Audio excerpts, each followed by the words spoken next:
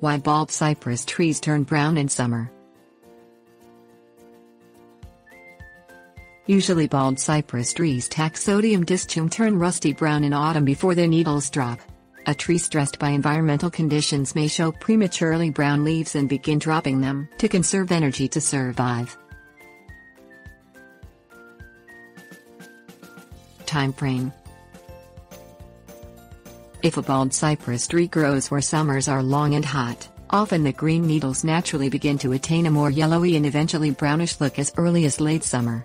If the summer was unusually hot and dry, leaf browning or bronzing occurs much earlier, especially during the midsummer. Significance Premature browning and drop of needles are signs the plant is trying to become dormant, it's potentially under attack by a serious disease or it is wounded. While bald cypress is normally not afflicted by pests and diseases, a trunk, root or branch wound could provide pests and diseases entrance into the tree. When plant tissues dry out or die, the leaves brown on affected branches.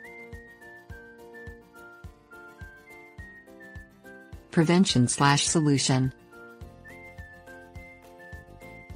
Although drought tolerant when established, the bald cypress tree benefits from deep irrigation during extended growing season droughts.